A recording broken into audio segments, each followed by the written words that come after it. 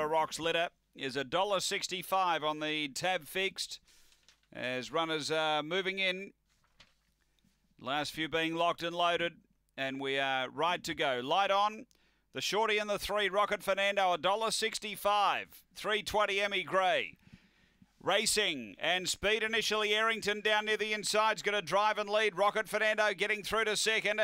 They were followed by Alinga Jess around that bend and back in the ruck is Long Gully Boy. Then came Emmy Gray and back at the tail Oakvale Astro. Down the back, Errington the leader. Out by two to Rocket Fernando. Uh, three away next to Linga Jess and they were followed by Long Gully Boy and then Emmy Gray. Up to the turn, Errington still had the lead. Rocket Fernando gets to the inside. Errington is in front of Rocket Fernando. Errington holds off Rocket Fernando. Third's close. Alinga Jess or Emmy Gray. Uh, next is Oakvale Astro and Long Gully Boy. The run here is around 29 and 90.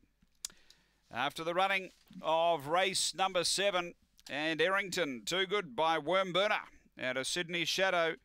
He found the speed, was able to hold off Rocket Fernando, who got to the inside and couldn't run over the top. The four hangs on uh, for third, which is Alinga Jess.